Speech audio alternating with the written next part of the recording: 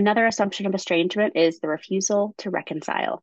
My name is Khara Croswaite Brindle, and as a mental health therapist serving adult children who've been estranged from a parent, this is a small piece of the puzzle.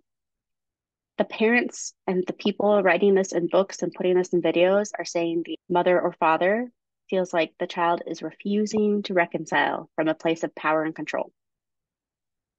That might have some accuracy of wanting to feel like in control of something, but it's not meant to add additional hurt or harm to the parent. An adult child's choice to refuse to reconcile is their choice. That's exactly what it is. Maybe they don't feel like the relationship is worth repairing, which would be hard to hear as a loved one. Maybe they feel like there's something they want to see from you before reconciliation is possible.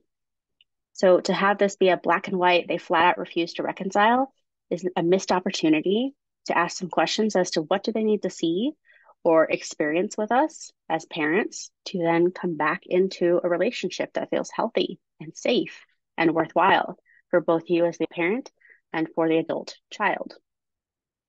The assumption is they're doing this as a power play. We are here to debunk that. It's not about power. It is about a sense of control because they want to have autonomy and independence in their own life as adult individuals.